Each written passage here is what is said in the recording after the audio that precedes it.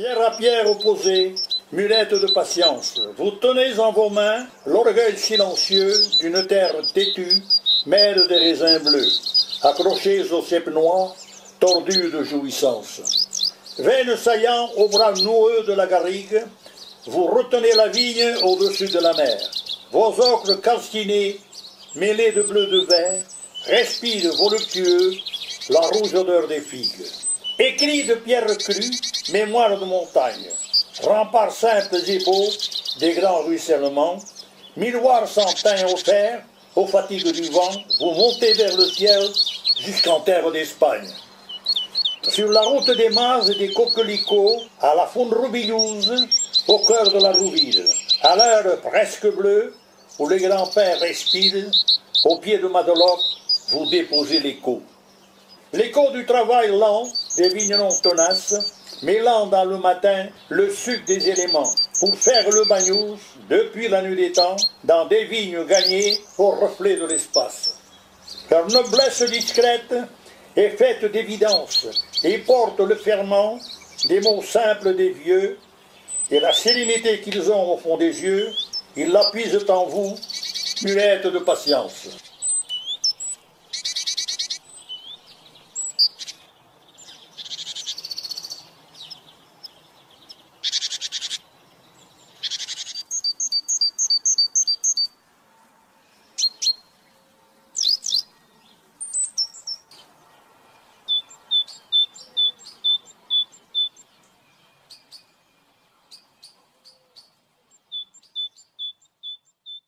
Benvinguts al País Català, bienvenue en pays catalan.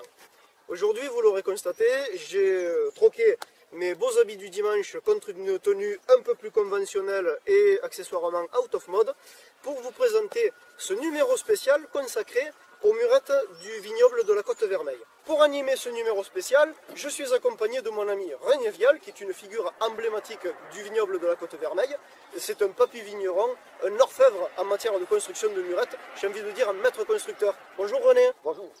René, tu es vigneron depuis combien d'années maintenant? Eh bien, écoute, je suis né en 1930. J'ai commencé d'aller à la vigne. J'avais à ce moment-là 17 ans. Je travaillais pour mon cousin, Gabi Vial, qui a connu, Tout à fait. avec le vignoble. Et là, bon, au début, j'ai commencé à, à travailler la terre, à tailler, à remonter la terre. Puis après, euh, la maison euh, Manière, on commençait de faire des nouvelles vignes, des garrigues. On avait défriché, je me rappelle, à la pioche, pas maintenant avec un bulldozer, hein, comme on fait maintenant. On l'avait fait avec la pioche, on a arraché les fils de liège, on a arraché les arbres qu'il y avait dans la pure. La vigne était une vigne qui était perdue, qui était déjà depuis le phylloxéra. Et puis après, là, à ce moment-là, on a commencé à, faire, à refaire les murettes. Les murettes, il n'y en avait pratiquement pas, elles étaient complètement effondrées, et là, on a refait toutes les murettes. C'est là que j'ai appris à monter des murettes parce que je travaillais déjà avec des anciens qui étaient bons pour faire des murettes, qui étaient malheureusement, donc maintenant ils, ils ils ne sont plus de ce monde, moi je le suis, mais elles n'y sont plus. Et là j'ai appris à monter des murettes. Je les voyais faire, sauf quand j'avais commencé, j'étais toujours avec une vanaste, je mettais euh, des petits cailloux qu'on appelait le raplum. Voilà comment j'ai appris à faire des murettes avec les anciens. Et Dieu sait qu'on en a fait à Taglialoc, si un jour tu vas à Taglialoc, si tu fais un commentaire là-bas à Taglialoc, toutes les murettes qu'il y a d'en bas jusqu'à la route en haut, j'y ai travaillé pendant 7 ou 8 ans. C'est là que j'ai appris. Et vous l'aurez compris, René est un petit jeune qui débute. C'est 88 ans. L'exercice d'aujourd'hui euh, avec mon ami René consiste tout simplement à refaire ce morceau de murette qui s'est effondré. Ouais. Donc euh, ben, moi aussi je vais mettre euh, la main à la pâte et c'est pour ça que je porte cette tenue parce que vous l'avez compris, on va se salir quelque peu. Eh oui, c'est sûr. Alors la première étape de la construction de ce mur, Ah oui. c'est d'abord de dégager, Les fondations. dégager les fondations, dégager le coussol comme on dit, et surtout récupérer les cailloux qui vont nous servir après à monter la murette. Et puis accessoirement si on peut arracher les herbes c'est pas mal.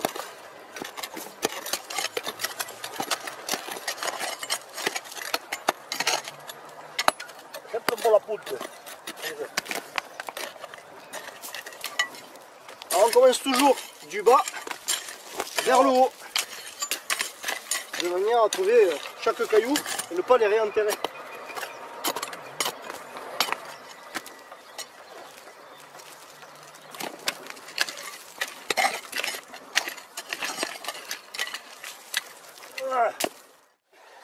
Les boulis totalement dégagés, il faut encore creuser jusqu'à atteindre le coup-sol, c'est-à-dire la couche dure où la terre est tassée jusqu'à être compacte, suite à quoi l'on va bien aplanir le sol. Un sol stable et plat offrira à notre murette une assise solide. Il arrive parfois que la murette doive se construire à même la roche. On dit alors que l'on construit sur la peigne. Avant de construire le mur, il faut prendre des repères. Donc on va planter ces deux piquets de part et d'autre euh, de la murette à construire et nous allons tendre ce cordeau entre les deux. Ah, et ce sera, voilà, ce la ligne qu'il faudra suivre pour que le mur soit bien droit et qu'il ne soit pas euh, aussi mal foutu que quand on l'a récupéré. Voilà.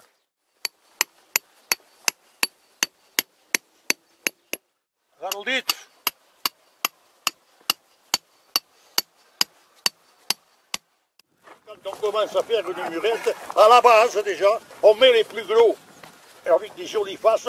La construction du coup-sol, autrement dit les fondations, débute par un choix de grandes pierres assez grossières mais néanmoins solides tout en présentant une belle face.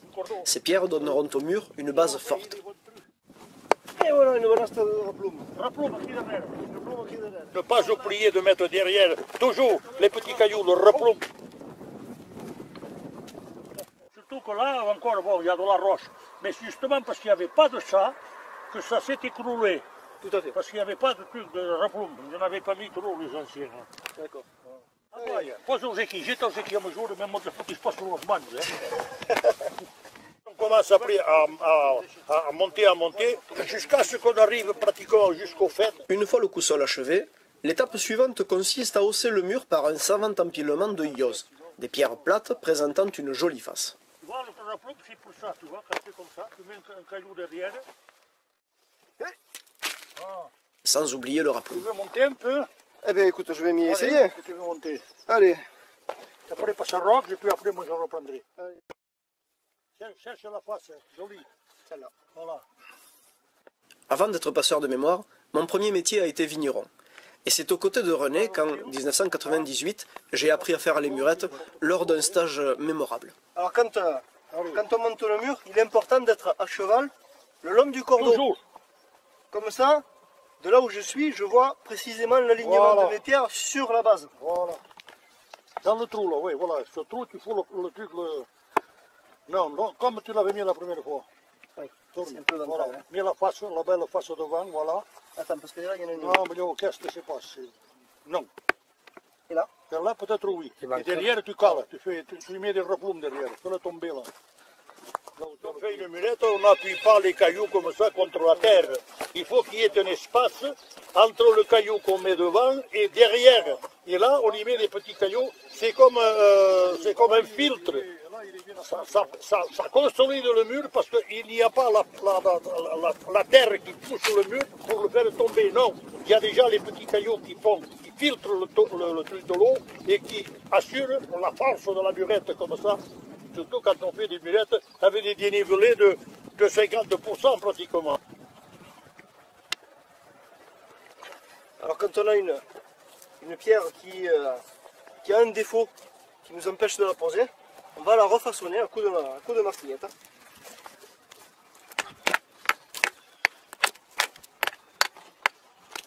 Voilà. Et ensuite on cherche à la placer de la manière la plus optimale qui soit.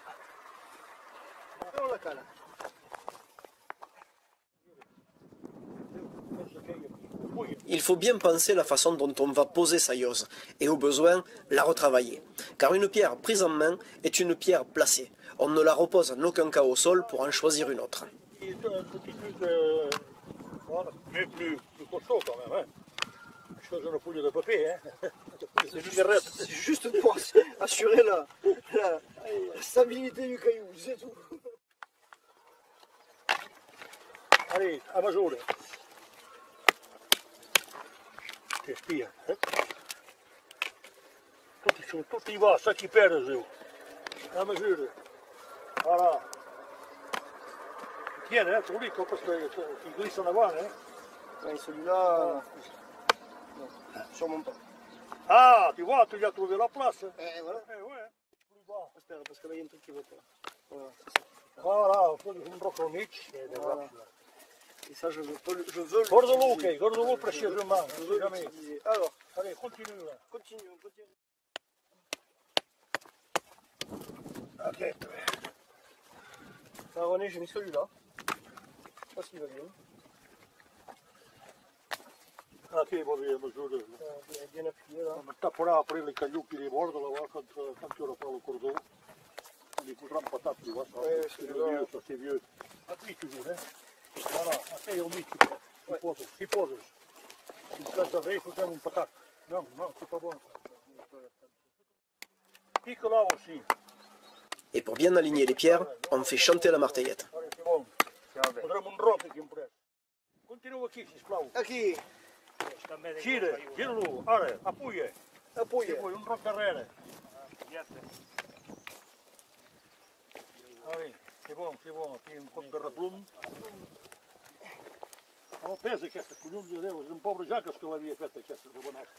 Pour bien caler les pierres, nous jetons derrière elles le raplum, qui en catalan peut se traduire par remblai, une somme de petits cailloux qui drainent les eaux de pluie, évitant à la terre de foisonner et faire tomber la construction, donnant ainsi au mur plus de force.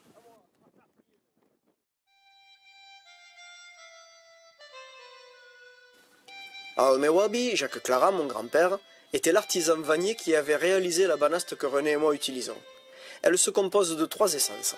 Le châtaignier, avec lequel a été conçu le squelette principal, le micocoulier qui a servi à réaliser les côtes du panier, puis l'osier tressé autour du squelette. La première étape de la conception d'une banaste consiste à tailler le châtaignier et lui donner forme. Pour cela, mon grand-père utilisait la jante d'une mobilette. Eh rien ne se perd, rien ne se crée, tout se transforme, aurait dit Lavoisier. Une fois la carcasse faite, les côtes du panier sont dimensionnées puis taillées en biseau à l'aide d'un petit couteau recourbé. Ensuite, quelques brins d'osier sont tressés et serrés à l'aide d'un outil spécifique autour des poignets de la banaste. C'est à partir de ce tressage que l'on incorpore les côtes de micocoulier. Une fois le squelette terminé, on tresse alors les brins d'osier autour des côtes tout en observant certaines techniques. D'abord pour assouplir les brins, pour ne pas casser leurs fibres, puis en les tressant tête bêche afin d'assurer des reprises homogènes. L'osier assure la solidité de la banaste de travail. Il faut d'ailleurs une certaine force physique pour réaliser ce type de panier. Il y avait à Bagnoul-sur-Mer quatre artisans qui fabriquaient des banastes et aujourd'hui, ils ont tous disparu. Mon grand-père m'avait transmis ce savoir quand je n'avais que 17 ans et, sauf erreur de ma part, je suis le dernier sur la commune à le connaître. Selon certaines sources, il resterait quelques vanniers du côté de Serré qui perpétueraient encore le tressage de banaste, à ceci près que les leurs seraient entièrement faites de châtaigniers.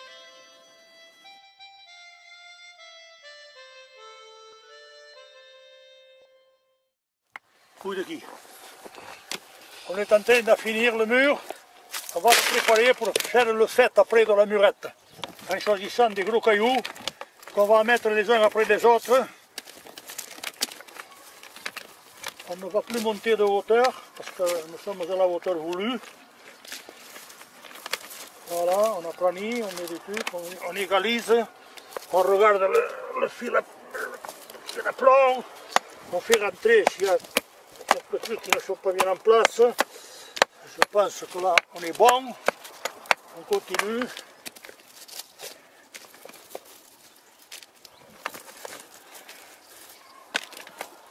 On est pas loin, là. Après, où Voilà.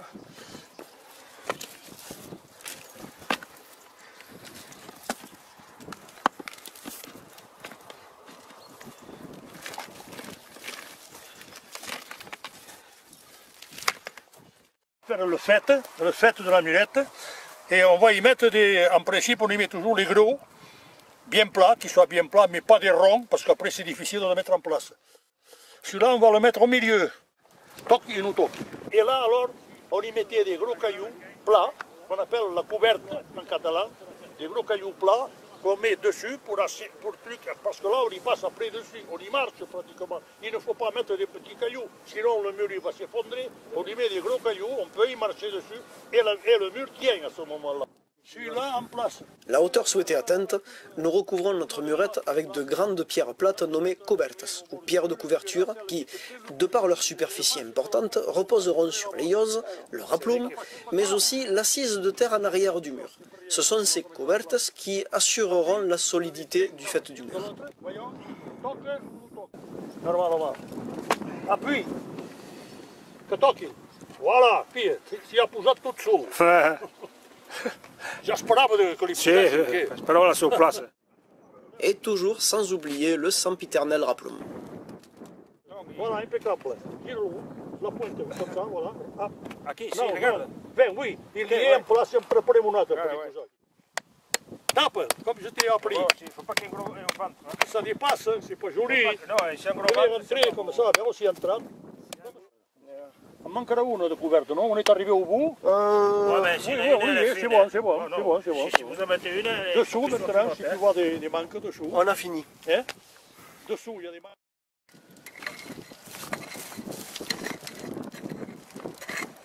Une fois la murette achevée, on la recouvre de terre.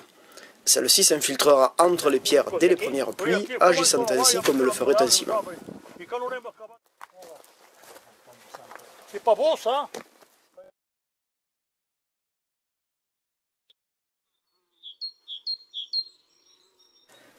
Récapitulons les étapes de la construction de notre murette. Celle-ci se compose de cinq parties distinctes. Nous avons tout d'abord creusé le coup-sol, c'est-à-dire les fondations, le sol dur sur lequel repose la murette. Il arrive parfois que l'on construise à même la roche que l'on appelle la peigne.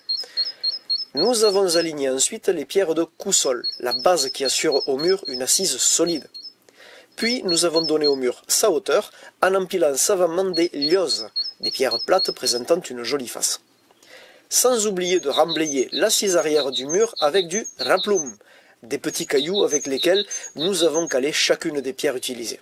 Le raplum sert également de drain aux eaux de pluie, empêchant de ce fait la terre en arrière de la murette de foisonner et de faire effondrer la construction. Et pour finir, nous avons couvert le mur avec des cobertas, de grandes pierres plates assurant la solidité du fait. Les outils que nous avons employés sont au nombre de cinq. Il y a tout d'abord la muruguner, qui est une sorte de grande pioche qui nous a servi à creuser le sol jusqu'à atteindre la couche dure. Ensuite, nous avons fait usage du kurdi, qui n'est autre qu'un cordeau servant à assurer l'alignement du mur. Puis nous avons aligné et modelé nos pierres avec une marteillette, mot venant de marteille, entendre marteau, qui ressemble plus ou moins à un marteau de maçon. Nous avons également utilisé un panier d'osier nommé banast pour déverser le raplum. Et pour finir, nous avons remonté la terre à l'aide d'un shadik, une sorte de binette.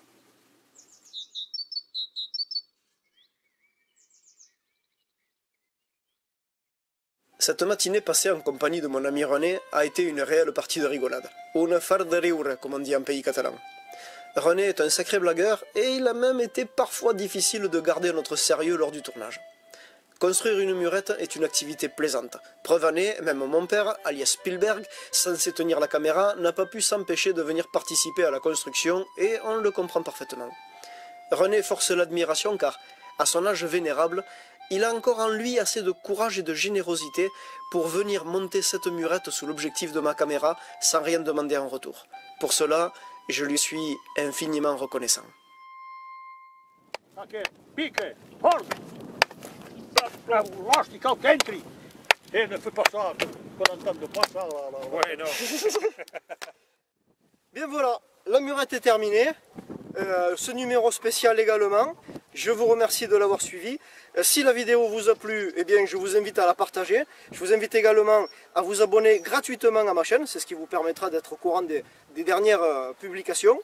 Je vous retrouve très bientôt pour un nouveau, nouvel épitomé. Et d'ici là, je vous dis à bientôt en catalan. Fantastique.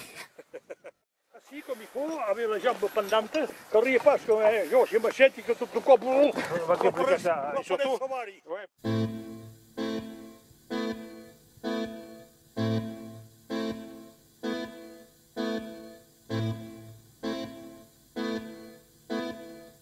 Els avis morts ens han deixat la casa, un camp amb un tresor, i dins la llar el foc amb una brasa centellejant com or. Ens han deixat el cel i les estrelles, la barca amb el filat, cap al serrat aquell ramat d'ovelles i la verd dins el prat.